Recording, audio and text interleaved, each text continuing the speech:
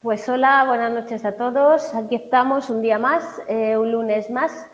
Y como hablábamos el otro día, lo que vamos a ver hoy es, tiene mucho que ver con el tema, el tema anterior y hoy vamos a hablar, vamos a ver lo que escribieron Piaget e Ilnelet de cómo estudiaron esa reversibilidad, esa conservación que se va a producir en la fase de operaciones, que es la que estamos estudiando, ¿vale? Me tomo un momento para deciros que esta vez sí os he puesto aquí el pad que es el adecuado, ¿vale? Que os lo he cambiado. Recordad que el otro día había puesto el de psicología de la educación por error. Hola, buenas noches. Pero que ahora sí que lo tenéis colgado, así que podéis aprovechar para, para cogerlo y descargarlo si queréis, ¿vale? Pero eh, bueno, vamos a seguir y vamos con esto. Entonces, eh, lo que nos va a hacer eh, es volvemos, seguimos, hemos pasado nosotros el, otro día ya hablábamos del tema de las, de las operaciones, del tema preoperacional y operaciones concretas, ¿vale? Y veíamos cómo el niño va avanzando, ¿vale? Durante esos años, que es de los 2 a los 12, o sea, 10 años eh, de, de, de, avance, ¿vale? Para realizar, pues, diferentes operaciones mentales que le permiten seriar, ordenar, eh, clasificar, ¿vale? Y que todos esos eh, van a ayudarle a organizar el mundo, a permitirle pues empezar a entender según qué cosas y eh, pues a mejorar. Uno de los hitos, uno de los grandes eh, pasos evolutivos a nivel cognitivo, ¿vale? En ese, en ese proceso es entender la reversibilidad y la conservación, ¿vale? Esos dos conceptos que en la fase previa no se podían mantener y no se mantenían. Entonces, lo que hicieron aquí lo, que estábamos estudiando es que existen eh, épocas en las cuales los niños, a partir de los hasta los cuatro, ¿vale? Hasta los cuatro, tres, cuatro años, los niños no entienden que ah, las cosas se mantienen a pesar de que cambien, ¿vale? O sea, hay una parte de las cosas que se conserva y eso es la conservación en realidad, ¿vale?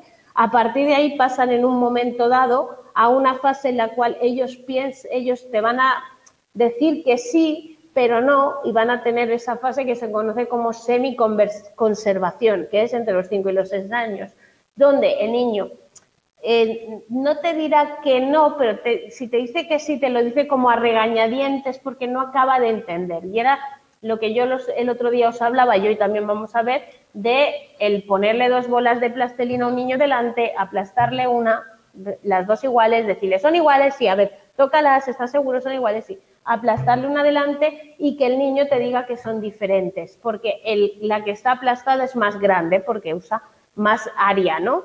Entonces, ahí, de ahí a decirte que son iguales porque tú lo único que has hecho ha sido aplastarla, pero ni has quitado ni has puesto nada, ni tal, ni cual, el niño no es capaz de hacerlo de una manera rápida, sino que va a haber un proceso. Y en ese proceso vamos a pasar de la no conservación a la semiconservación a la conservación. Y en eso, a ver, tres puntos claves que nosotros vamos a utilizar para saber si el niño realmente está sin conservación, es decir, no conservación, semiconservación o conservación. Cuando un niño está en no conservación o semi en no conservación no va a decir nada, te va a decir que son diferentes y se acabó.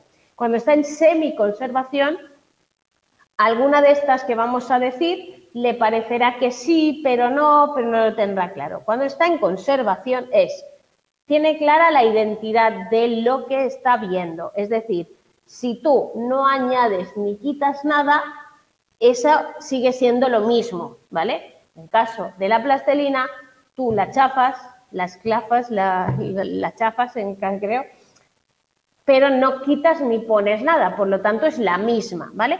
Luego está la compensación, ¿qué es eso? De, vale, la bola es, la, la galleta es más, más grande, pero es más lisa o más fina, ¿vale? Entonces compensas y eres capaz de decir, vale, no has añadido ni quitado nada. Mm, el cambio que tú has hecho implica que tiene que haber una, hay una compensación entre una cosa y la otra. Y luego es la inversión. Yo puedo volver a conseguir que esa bola de plastelina vuelva a ser una bola, aunque ahora esté aplastada, ¿vale? Entonces, el, niño que no conserva no, no, sabe decirte esto. Y el que está en semi puede darte alguna de estas respuestas, ¿vale? Alguna, pues bueno, no has puesto nada, pero no sé qué, tal, ¿vale? El que conserva te dice las tres porque las tres son claras. Identidad, compensación e inversión.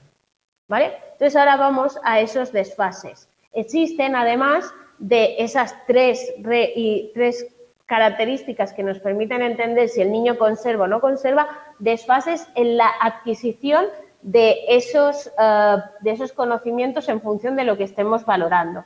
Por ejemplo, la cantidad de sustancia, es decir, si hay más o menos líquido o hay más o menos plastelina, se adquiere primero, entre los 6 y los 7 años. El peso, es decir, si pesa más o menos, se adquiere más tarde, entre los 8 y los 9. Y la última de todas en, conservar, ¿vale? La última capacidad de conservación que se adquiere es el volumen que está entre los 11 y los 12 años, ¿vale? Por eso, estos desfases interconservación, ¿vale? Es que hay cierta resistencia a las diferentes operaciones lógicas que como veremos, eh, si yo eh, voy más a lo concreto, pues claro, es más difícil ver el volumen de según qué cosas que otras cosas que están más delante y que se ven más claramente. Y por eso hay una mayor dificultad en adquirir el volumen que en adquirir el peso, pero también la cantidad, porque la cantidad es más evidente porque se ve más claramente eh, de esto, ¿vale? Bueno, aquí tenéis los diferentes experimentos que se pueden hacer, ¿vale? Cómo se busca primero una igualdad inicial, ¿vale? Luego a esa igualdad en todos, ¿eh? estamos hablando de número, cantidad, longitud, masa, peso. Luego, cómo lo transformamos, en el caso del número lo alargamos, recordad que yo os puse una fotito de un niño que lloraba porque tenía cuatro caramelos y estaban muy juntitos y otro que estaba muy feliz porque tenía cuatro muy separados, ¿vale? Lo de los vasos, el tamaño y tal, y eh, la longitud, el verlas un poco movidas y ver cómo se, se, desplaza una y cuando ves una más delante y otra, una más delante, más cerca, más, eh, sí, en primer plano y otra más atrás, pues siempre la perspectiva hace que parezca la de detrás más pequeña, ¿vale? El tema de, la masa, que se hace pues aplastándolo, el, el, el, contorno, el área que forma, ¿vale? Y el peso, que también pues se hace en ese sentido de la misma manera, entendiendo pues que se pregunta diferente, ¿vale? Entonces, según eh, eh, todos los conocimientos que tenemos en el estadio sensorio-motor, el niño ha sacado regularidades de las cosas y ha ido viendo pues que había cosas que funcionaban de una determinada manera, ¿vale? Esas regulares se llaman regularidades elementales. Tienen una cierta conservación, pero solo por la constancia, porque siempre se ven igual, no porque el niño sea capaz de entender que si se transforman conserven, que es lo que va a venir después. A la hora de eh, entender en qué diferencia hay, pues una cosa son las regularidades elementales y otra cosa son las regularidades transformadas, donde yo ya estoy modificando algo, pero se sigue manteniendo. Aunque esté transformado, se conserva, ¿vale? Esto es la conservación. Entonces, ahí ese es el criterio de la aparición de las operaciones cuando nosotros somos capaces de entender que hay los invariantes o las ideas de conservación, que es a partir de los siete años, ¿vale? Los invariantes es que por mucho que yo aplaste la plastelina, ¿vale? Y la cambie de forma, la plastelina sigue siendo la misma plastelina, es la misma cantidad. Solo hay, eso es invariante, no va a variar, ¿vale? Entonces, a partir de ahí, el niño es capaz de ver el la reversibilidad. Entonces, que yo puedo hacer una cosa y volverla atrás y hacerla otra vez como era, ¿no? Puedo invertir, puedo ser capaz de, de modificar, cosa que un niño pequeño no puede, porque fijar, pensate en un niño pequeñito, ¿vale?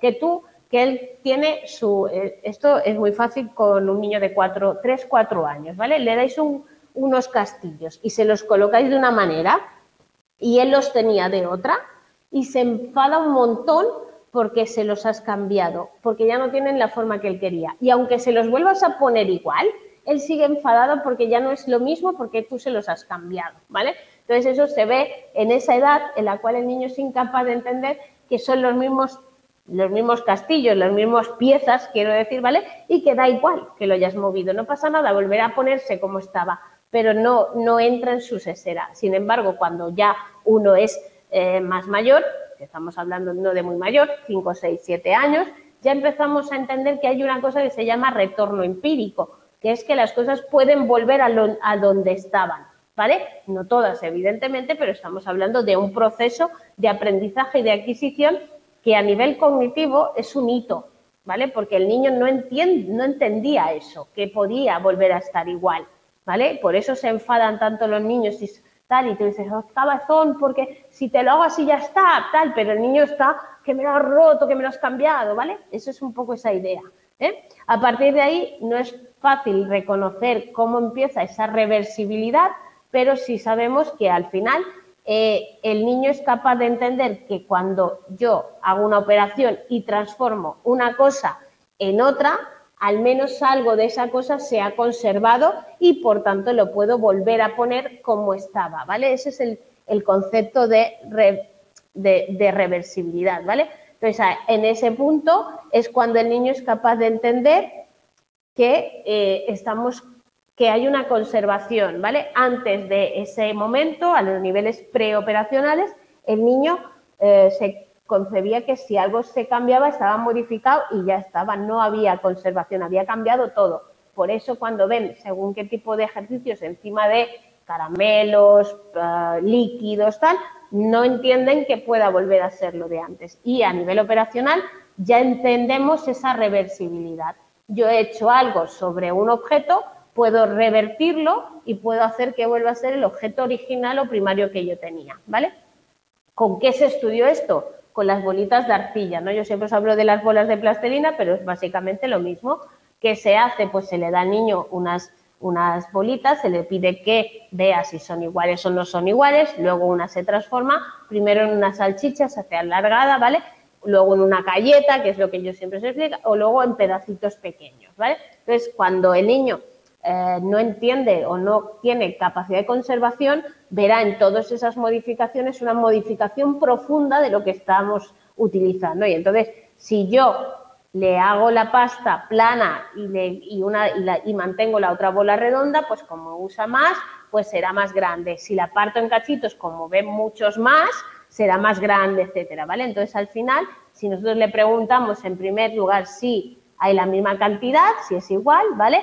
Luego, el niño va a o afirmar o a negar en función de la edad que tenga, para así sabremos si el niño entiende o no entiende la conservación, ¿vale? Generalmente, si es más largo, tiene más, si es más plano, tiene más, si, si está hecho más trocitos, tiene más, ¿vale? Porque él ve más cantidad, ¿vale? Entonces ahí tenéis lo mismo, volvemos a la transformación, pero estamos pesándolo, ¿vale? Entonces todo eso el niño va a entender que sí, que se ha cambiado y por tanto va a ser diferente que cuando yo ponga en, una balanza esa bola y esa salchicha, pues la bola pesará más porque es más redonda, más, más, más compacta. Pues a lo mejor el niño me lo dice, ¿vale? O me dice que no, que es la, la de esto porque es más larga. Y ahí vamos a seguir. El volumen, y eso es una de las cosas que se le ha criticado a Piaget, es que ellos lo para, enseñar el volumen lo que hacían era poner agua, ¿vale? Y meter la bola dentro. Y entonces el volumen lo que, lo que nos decía es cuánto subía ese agua, ¿vale? Entonces ellos lo que hacían era eso, en un recipiente ponían agua, colocaban dentro del agua ese, ese, ese objeto y eh, veían cómo subía o no subía, ¿vale? Entonces ahí es donde se descubren esos tres niveles de los que hemos hablado al principio como a modo introductorio. Primero, que no hay conservación. La segunda son esas respuestas intermedias en la cual el niño tiene cierta sospecha de que eso sí que está conservado, pero no sabe muy bien cómo exponerlo, no sabe muy bien cómo transmitir que él le parece que está, y luego ya viene la conservación totalmente evidente, ¿vale? Y yo vuelvo a deciros que estas cosas hay que, hay que hacerlas y hay que vivirlas. Yo si fuera vosotros, si tuviera unos niños, como hice yo en su momento, cogería a dos niños de diferentes edades y les haría hacer la prueba y veríais cómo exactamente se produce este hecho. ¿vale? Hay niños que lo niegan, hay niños que no tienen conservación, aunque se lo hagas en su nariz, y hay otros que ya lo tienen claro. Y luego los hay que están ahí que no lo ven claro, ¿vale? Ahí tenemos los argumentos, ¿vale? Los argumentos que tiene el niño ¿vale? En cuanto a estos son los tres que hemos dicho, ¿vale? El objeto de reversibilidad simple, en B hay tanto, materia tal, como en A porque se puede volver atrás, ¿vale? O porque no le hemos añadido el, el tema de la identidad, porque no le hemos añadido nada y por tanto sigue siendo lo mismo o el tema de la compensación, porque aunque sea más grande, es más alargado o tal, ¿vale? Entonces volvemos a esos tres principios que hemos dicho antes y entonces el niño que conserva nos dará esos tres principios, ¿vale? Solo a partir del momento en que se descubren esos argumentos, los tres. Es decir, que un niño nos diga uno, pero los otros dos no los mantenga, todavía estaríamos en semi-conservación. Cuando es capaz de decirnos los tres y nos, nos los incluye, es cuando ya está el, el, proceso de conservación está establecido y lo tiene y, ay, lo tiene, ya lo ha captado, ¿vale? Pero los tres argumentos son solidarios, eso quiere decir que necesitan los unos de otros para que podamos decir que la conservación realmente está consolidada y el niño la tiene adquirida de verdad. No podemos pensar que un niño tiene conservación si nos está diciendo que no hay identidad, pero que la compensa, al compensar por la de estos sí, no, ¿vale? No. Y ahí tenéis los porcentajes, ¿vale? Eh, tenemos eh, sustancia, peso y volumen, ¿vale? Y ahí tenéis porcentajes de niños de 5 años, tal, a los 9 años, como veis, casi el 84% ya tiene la conservación adquirida del todo de lo que es la sustancia. Hemos hablado del peso que iba después y hablamos de que a los 11 años ya tienen 96 y el volumen, que es lo último, que estaría más, más, tardaría más, ¿vale? Entonces, eso se hizo con unos niños en Ginebra, porque recordad que Piaget trabajaba en Ginebra, ¿vale? Y salieron estos resultados. ¿Qué se hizo después? Pues vamos a ver si es verdad y también se producen otro tipo de niños, por ejemplo, los americanos o los ingleses, ¿no? Y entonces aquí tenéis, por ejemplo, con lo mismo, sustancia, peso, volumen, los porcentajes que aproximadamente son bastante similares, ¿vale? Con el tema de, eh, los eh, de Ginebra, de los alumnos de Ginebra, ¿vale? Entonces ahí tenéis también pues que hay un 70-75 de los sujetos presentan una neta falta de correspondencia entre conservación de peso y sustancia y que hasta los 11 años no se adquiere el volumen, ¿vale? Un poco nos vienen a decir todo el tiempo lo mismo, nos vienen a decir que hay una diferencia en cuanto a tal. Y aquí es donde hablan de esa diferencia técnica que se propuso a la hora de hacer el experimento, porque claro, si yo replico un experimento exactamente igual, pues puedo decir que son comparables los resultados, pero si aquí hay una variable o alguna diferencia en la técnica que yo utilizo para aplicar ese sistema o ese, para, para ver cómo soluciona el problema, pues al final estaríamos un poco viendo que, que pueda matizar esas diferencias que pueda haber, ¿vale? Y aquí es lo que os decía del desplazamiento del agua. Piaget lo metía porque yo meto, perdón, Piaget lo medía porque metiendo algo en un, en un, en un recipiente con líquido, el volumen se cambia, ¿vale? y este señor lo que hablaba es del desplazamiento del nivel del agua y buscaba, planteaba otro tema como desplazamiento, no tanto como cuánto volumen había, ¿vale? Entonces, al final, los resultados varían un poco en este sentido. Luego tenéis otros estudios en los cuales pues esa sustancia y peso sí que ya entraban en esas diferentes edades de 7 a 8, de 10 a 11, como hemos visto. Pero claro, al replicar un experimento, si le cambian las condiciones, pues tienes tus dudas, ¿no? Y ahí tenéis un poco pues esa, esas diferencias que ellos plantean en sustancias y el peso, ¿vale? Y aquí pues la conservación del peso y la sustancia, ¿vale? Más o menos. Entonces, estos alumnos eran canadienses y hablaban de la adquisición de esas tres conservaciones más cercanas en el tiempo, ¿vale? sobre todo en el peso y el volumen, que son las dos últimas. La sustancia iba más por delante, parece ser, como veis aquí, en la, fase, mientras que las otras, aquí solo tenemos el, peso, ¿vale? Iban pues a casi, imaginaros que aquí están por debajo de 30%, ¿vale? Y aquí ya llegan a los 74, entonces iría un poco más en paralelo esas dos. Pero volvemos a que en estos experimentos se utilizaron técnicas diferentes y que al utilizar técnicas diferentes no podemos decir que se ha replicado el estudio, sino que se ha aplicado pues otra técnica para evaluar y de ahí pues pueden surgir todas estas diferencias que estamos viendo. Lo mismo con el trasvase de líquidos, estamos moviendo un líquido de un vaso a otro, ¿vale? Y viendo si el niño es capaz de decirnos que el líquido no cambia, sino que lo que cambia es el, el vaso que lo contiene, ¿no? Entonces, por eso se habla de dos vasos más planos y un cilindro, un vaso más cilíndrico, donde el, niño pues va a meter eh, el agua y va a ver cómo se mueve ese agua en los diferentes recipientes, pasándola de un lado a otro, ¿vale? Entonces ahí tenéis lo mismo. hay dos vasos iguales, uno diferente, el agua de A se pasa a B y el agua de B se pasa a A, los vasos son iguales, se supone que el niño te va a decir que las cantidades son iguales pero en cuanto tú pasas el vaso,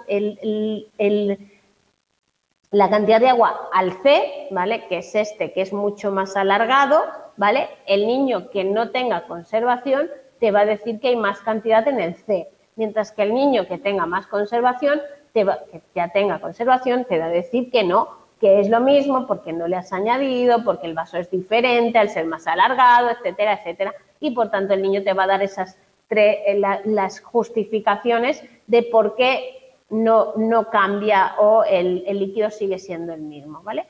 Lo mismo ha pasado con los resultados con la conservación de la sustancia, en este caso del líquido, ¿vale? Lo mismo, primero no hay conservación, luego pasamos a ese punto intermedio en que algunos sí, otros te dicen que no, y luego pasamos en que todos ya tienen la capacidad de conservar o ven la conservación eh, tal cual por los con, todo, con, su, con todos sus procesos y todo su recorrido, ¿vale? ¿Vale? Entonces, en ese caso, se comprueba, ¿vale? Que hay un ligero adelanto en la conservación de las cuentas en relación al, número de, al tema de los líquidos, ¿vale? Entonces, estamos hablando de que cuando hacemos cuentas, cuando estamos trabajando con cuentas que son bolitas o cosas de estas, eso es más transformable, puede romperse tal y por tanto puede ser eh, puede ser ah, más, ah, mm, más manejable, ¿no? más fácil de ver. Pero los argumentos siguen siendo lo mismo. Se puede volver a poner de A a B igual que B A, ¿vale? Se puede compensar, no has puesto nada, este más largo, el otro más corto y tal. Identidad no has puesto nada, ¿vale? Por lo tanto, al final, el argumentario que el niño va a darnos en cuanto a la cantidad que hemos dicho, en cuanto a la sustancia, en cuanto tal, seguirá siendo el mismo y seguirá pasando lo mismo. Primero, no habrá conservación, luego habrá algún, eh, alguno de estos argumentos, pero recordad que son que para que haya conservación tienen que estar los tres, ¿vale? No son solidarios, ¿vale? Esto es que van juntos, no no podemos decir que un niño tiene conservación si solo tiene uno, ¿vale? Y entonces nos vamos a, ¿vale? ¿Y qué factores van a influir o están influyendo para que se produzca este cambio, ¿no? ¿Qué es lo que está haciendo pues que se produzca? Entonces, cuando se estudió se habla de tres, eh, de tres factores principalmente, ¿vale? El factor uno sería la maduración a nivel neuronal, a nivel del sistema nervioso, etcétera. El factor dos sería experiencia, el niño va jugando con esas bolitas, va jugando con, las, con el líquido, va tal, el niño va pues adquiriendo ese aprendizaje y por último el, la propia, el lenguaje y la transmisión social que ya te, dicen tal, porque claro, si tú tienes a un niño que le estás haciendo ese juego y lo miras, el niño directamente sabe que le estás mirando porque está haciendo algo mal, ¿vale? Porque yo esto también lo he visto, es decir, el niño te pone cara de, pero tú me estás poniendo esa pega y tal, y entonces ahí también el niño, no, el niño tiene habilidad para entender lo que le estás diciendo. Bueno, Maduración del sistema nervioso habla de que juega pues probablemente un factor importante en esa eh, adquisición de nuevas operaciones, ¿vale? En esa construcción de operaciones. Al fin y al cabo estamos hablando de un sistema nervioso que, como vosotros sabéis mejor que yo, genera circuitos neuronales a partir de experiencias y de cosas que va haciendo y el hecho de que ese cerebro, esas neuronas puedan ir conectándose y puedan ir creando pues mayor eh, número de conexiones y conexiones diversas y diferentes, permite pues que el cerebro esté preparado para afrontar nuevas situaciones o, nuevas formas de ver las cosas, ¿vale? Entonces ahí tenemos que no existe un índice madurativo en cuanto a este, a este tema de los 7-8 años, los 11 y los 12, en cuanto a la conservación, recordad que estamos hablando de la conservación, ¿vale? Pero que ahí pues parece que en electroencefalograma, ¿vale? Pues puede haber algún tipo de relación más de tipo global con esas modificaciones que se están produciendo en el cerebro, ¿vale? Luego, en ese caso estamos hablando de que no son unas eh, conexiones hereditarias, sino que van modificándose a raíz de que eh, el niño pueda estar madurando y que, por tanto, no van a ser, perdón, lo he dicho mal, no sé, me, he dado cuenta, ¿vale? Entonces, no solo dependen de la maduración, sino que van a ir dándose por propio aprendizaje, por las experiencias que el niño tenga, etcétera, ¿vale? Entonces, eso es más fácil de entender si decís, bueno, es que yo tengo un niño que sí o sí cada día pues hace esto, esto y esto y esto, pues ese niño va a tener una maduración neuronal en hacer esto y esto y esto que otro no va a tener, porque hay una práctica, aparte de que el cerebro en ese caso da la posibilidad, porque llega la estructura cerebral a ese punto, de poder hacerlo. A ver, los niños de dos años no pueden tener pensamiento abstracto porque en la configuración cerebral que tenemos no llega a poder eh, realizar esas operaciones, mientras que el cerebro, así como va avanzando, pues permite que eso se pueda dar. La, experiencia adquirida, ¿vale? En este caso estamos hablando de que nosotros desde pequeños hemos dicho interactuamos con el mundo, vamos creando nuestra interpretación del mundo, vamos creando nuestra lógica, nuestra forma de eh, nuestros esquemas, etcétera, ¿vale? Y entonces a partir de ahí podríamos hablar de que además en ese proceso de maduración donde se adquieren unas operaciones concretas, pues hay un mecanismo de aprendizaje, ¿no? Y ahí tenéis pues autores que hablaron de que muchas de esas estructuras lógicas tienen éxito si se van apoyando en otras anteriores. Es decir, si pasamos de un proceso a otro y, y el niño va entendiendo y va incorporando esos nuevos aprendizajes, la cosa mejorará. Estamos hablando si lo queréis llevar al terreno en el cual nosotros nos movemos, de asimilación-acomodación. Es decir, a partir de una estructura o de un esquema mental que yo tengo, veo que las cosas no cuadran ese esquema mental, hago un proceso de desequilibrio, asimilo nueva información y voy generando pues nuevos, porque me tengo que adaptar, nuevos esquemas mentales, ¿vale? Lo mismo Greco, habla de esa lectura y habla de que eh, hay, en, se basan esencialmente en la asimilación esquematizante, es decir, yo tengo que ir construyendo nuevas estructuras partiendo de las que ya sé o ya tengo para poder configurar pues esa nueva eh, visión de ese mundo. Luego, las formas de experiencia, ¿no? Ahí está la lógico-matemática, donde consiste que al actuar sobre objetos, pues nosotros podemos ver y tomar conciencia de cómo es ese objeto, de qué abstracción tiene y también pues aplicarle acciones a ese objeto, ¿vale? Entonces el niño de 5 o 6 años descubre que pues la izquierda, la derecha, las piedras las alinea, hace cosas de esas y todo eso va a ser un preludio para que llegue pues el orden, la, la organización, el colocar las cosas, etcétera, etcétera. Por lo tanto, en acciones que se producen de forma experiencial en un momento dado evolutivo, surgirá pues la base para poder desarrollar nuevas cosas. Y entonces sería por un proceso, ¿no? En el cual primero vamos a algo más simple, estamos en, nociones más básicas y cada vez se irían complejizando más y construyendo pues nuevas asociaciones y nuevas informaciones y nuevas interpretaciones, ¿vale?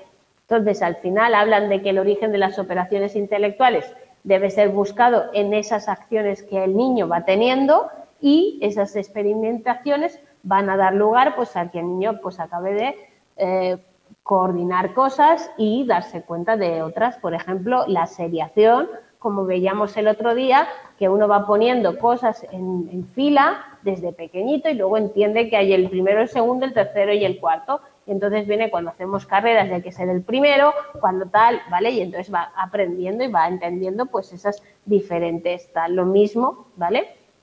Cuando ya ha cogido un conjunto, pues lo mismo clasificar, recordad que hablábamos de las diferentes formas de clasificar y de que como el niño ¿vale? Va aprendiendo pues también a base de esa experiencia la forma de clasificar las cosas, en principio más simples o más genéricas, perdón, más específicas, y van de todos los colores azules, todos los colores amarillos, y luego el, bueno, el pequeño, el mediano tal, de color amarillo, azul y tal, y viendo por tamaño y por color y no sé qué, ¿vale?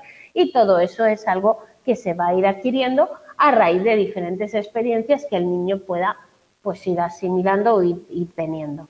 Y luego está el tema de esa base, ¿vale? De esas actividades sensoriomotrices si entendemos que el, enfoque que estamos dando al cerebro es un enfoque constructivista y que estamos hablando de que el cerebro va creando esas interacciones y, va generando a partir de ellas pues esquemas cognitivos, formas, eh, eh, aprendizaje, ¿vale? Pues estamos hablando de que entendamos que el niño pequeño ya puede tener pues algunas eh, ideas de conservación o de reversibilidad que a lo mejor no puede transmitir o que a lo mejor todavía no tiene. Pero, ¿qué es lo que están diciendo aquí? Que al final algunas de las actividades que un niño realiza cuando tiene 9, 10, 10 meses, perdón, 9, 10 meses o 16, 18 meses, pueden estar siendo el preludio, un bosquejo, ¿vale? Para que el niño vaya cada vez adquiriendo más esa, ese concepto de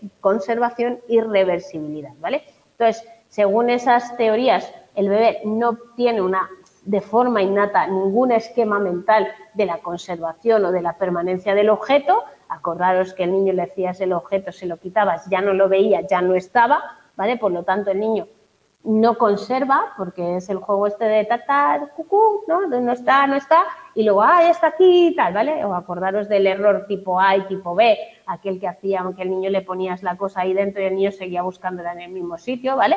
Todo eso. Luego el niño empieza a entender lo que es esa estructura de conservación y empieza a verlo a partir de los siete, de los 6, 7 años, ¿vale? Y luego va a ser cuando el niño ya empiece a captar los desplazamientos, los movimientos, tal, y por tanto ese, ese cambio permita entender que no hay un cambio de, de, concepto de lo que es, sino que hay un cambio en, en alguna parte que le hace pues padecer de forma diferente, ¿vale? Por lo tanto, estamos hablando de hacer pues trayectorias, como dicen, cambios sucesivos que modifican de un lado a otro y que nos permiten pues ver las cosas de manera diferente que al final es lo que hacemos, ¿no? Veo una cosa más aplanada, veo una cosa más alargada, veo tal, ¿vale? El tercero de los factores, hemos hablado de la maduración, hemos hablado de, de, la, de la experiencia y hablamos del lenguaje y la transmisión social. Eh, está claro que al final vivimos en un contexto, vivimos en una cultura, vivimos en una sociedad y que los factores sociales, sobre todo el lenguaje, van a ser formas de transmitir una información y un conocimiento de unos a otros. Y por tanto el niño va oyendo y le van explicando que es lo mismo, que no hay diferencia, que no sé qué, desde que es tan pequeño, como yo os decía antes, que él rompe un castillo y se rolla y se enfada porque se ha roto y ya no tiene la misma forma, a ir desarrollando pues la idea de, pero es que me vuelven a poner lo mismo y me lo vuelven a hacer, ¿vale? Entonces, eh, uno de los estudios que hay que sustentan un poco este tema de la conservación como algo de transmisión, ¿vale? Es que a los niños sordomudos se ha visto que el tema de las operaciones de clasificación, selección y tal, las adquieren, pero de una manera más lenta. Es decir, hay ciertas dificultades, ¿vale?, en adquirir esas operaciones ya que no se transmiten desde el exterior con la uh, acción educativa, porque el niño no recibe esa información cuando es sordo-mudo, ¿vale? Pero no se comprueba la existencia de una correlación clara entre que haya un problema en los asonos del lenguaje y el desarrollo de operaciones. Hay niños que sí y hay niños que no van a aprender, ¿vale? Y que no, sabemos eh, eh, el sistema si es causa-efecto, ¿vale? Pero bueno, yo os diría, para que el sujeto pueda comprender una estructura lógica, vale, yo os diría que el concepto este que estamos exponiendo aquí, del proceso de, los sordomudos y tal, que aunque ellos puedan adquirir algunos aprendizajes más lentos, los sordomudos aprenden lo mismo a nivel cognitivo, lo cual es una de las teorías que veremos el año que viene cuando hagáis tercero en lenguaje, que apoya el hecho de que el lenguaje y el pensamiento se influyen mucho, pero son procesos diferenciales, ¿vale? Entonces ahí un poco todavía estamos en, vamos a ver qué hacen los sordomudos o qué no hacen, ¿vale? Pero vamos, que está claro que un niño sordomudo puede ser igual de inteligente que un niño que, que tiene el habla y, la, y, la, y el oído adquirido, ¿vale? O sea que no es, no es un problema. Entonces, para un sujeto pueda comprender una estructura lógica expresada por el lenguaje, necesita esa asimilación y esa capacidad de incorporar ese aprendizaje, ¿vale? Entonces ahí dice que el, tema proposicional, cuando yo pienso en proposiciones, que acordaros que eran eh, eh, sentencias breves sobre algo que pueden ser verdaderas o falsas, ¿vale? Entonces el desarrollo operacional supera esa expresión verbal y entonces al final el niño, ¿vale? Es capaz de crear esas operaciones y de eh, realizar acciones con ellas, ¿vale? Pero interfiere el tema de la verbalización del lenguaje y también interfiere el tema de intercambio social, es decir, con quién hablamos, cuál es nuestro nivel de, bagaje de relación y qué tipo de cooperación tenemos con ese, con ese ambiente para que pues, nosotros seamos capaces de hacer una cosa antes que otros niños o tengamos más manejo de esas cosas, ¿vale? Entonces, al final, estamos hablando de esto. Y luego, después de esos tres factores que hemos visto, aparece un cuarto factor. Es decir, hay algo más ahí, ¿no? Solo la maduración mental, la experiencia, lo que nos dicen los otros, el lenguaje, etcétera, pero parece que hay un cuarto factor. Y ese cuarto factor es el proceso de equilibración y autorregulación. Es decir, nosotros al final vamos aprendiendo porque construimos nuestra realidad de una manera continua a partir de todo lo que vamos viviendo y lo que vamos haciendo, ¿vale? Entonces nosotros extraemos esas acciones, coordinamos, vemos, supervisamos, abstraemos y al final, ¿vale? Hacemos, sacamos nuestros datos, ¿vale? Para percibir la realidad. Entonces, en ese proceso estamos haciendo una abstracción reflexiva de lo que pasa. Si yo veo algo y está haciéndose, lo están cambiando, lo están modificando, ¿vale? Pues yo puedo entender que eso, ahí hay una acción y por tanto eso lo han cambiado de alguna manera, pero sigue habiendo una base, ¿no? Entonces ahí tenemos el hecho de ser capaces de mm, proyectar la nueva realidad sobre el mismo plano, ¿no? Y ser conscientes de que están modificándose eso, ¿vale? Para llegar a esa conexión contenida y luego una construcción que es ser capaz de a eso que vamos viviendo, a nuestra mente, a nuestros aprendizajes y tal, vamos a ir reconstruyénlos, enriqueciéndolos, aprendiendo, ¿vale? Por ejemplo, ahí tenéis el trayecto de una casa a la escuela, el niño que, sin embargo, recorre solo los, todos los días, grupo práctico, desplazamientos, grupo representativo, es decir, un niño que coge eh, esa, esa, capacidad de yo tengo que ir por aquí, por aquí, por aquí, por aquí, y el niño genera una representación de eso que está haciendo, que es su camino, construye, ¿vale? Esa propia eh, realidad en su mente, ¿vale? Porque hemos dicho que nosotros en realidad hacemos representaciones y las vamos construyendo, ¿vale? Entonces aquí tenéis un poco, pues también eso, somos capaces de sacar pues nuestras propias interpretaciones, ¿vale? Y acordaros de que hablábamos de las teorías eh, intuitivas, ¿no? las teorías ingenuas, como nosotros primero podemos tener pues una interpretación más errónea, más ingenua y buscar pues una lógica que no es tan intelectual, ¿vale? Y luego sí que al actuar sobre el mundo, pues ajustar esos desequilibrios que se están produciendo y encontrar realmente la solución que da respuesta a, ese desequilibrio y por tanto nos permite reequilibrar nuestro concepto, ¿no? Entonces todo eso se hace a partir de primero me equivoco, no entiendo, veo, intuyo, eh, hago mi teoría ingenua y luego voy sacando, ¿no? Y ahí tenéis el tema de Wallon, que es quien habla del papel de la crisis en el desarrollo, es decir, que al final cuando yo me doy cuenta de que no puedo eh, afrontar una, actividad o, que no la entiendo o que tengo que superarla de alguna manera y tal, pues es cuando yo soy capaz de modificar esa idea que yo tengo y generar pues ese desequilibrio y volver a ese equilibrio, ¿no? Y, y hacer un proceso de mejora de ese proceso. Y en ese caso estamos hablando de la autorrealización, ¿no? De que yo ve, me doy cuenta de que no estoy en lo cierto y puedo cambiarlo, ¿vale? Y entonces tenemos el, tema del equilibrio, que tiene mucha eh, relevancia, porque al final eh, la, inteligencia es un, es un modificar, es un proceso que siempre tiene que estar en constante movimiento porque tiene que ir mejorándose y tiene que ir reinterpretándose, ¿vale? Entonces ahí tenemos el tema de la equilibración.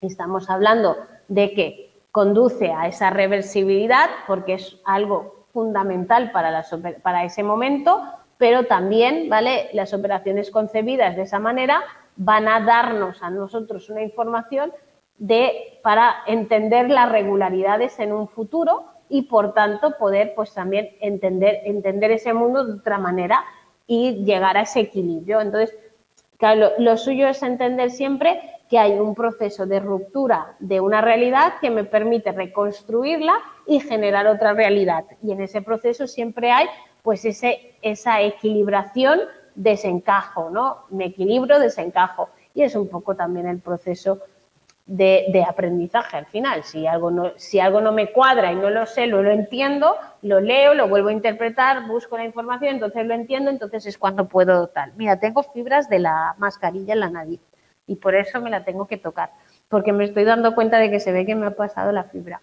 Y ahora se, han metido para adentro, perdón. Dale, seguimos. Entonces, la traducción de ese desarrollo en operaciones es que al final, ¿vale? Eh, construyen esa introducción a su interpretación de los puntos de vista neurológicos y mecanofisiológicos, ¿vale? Estamos hablando de concebir el cerebro, ¿vale?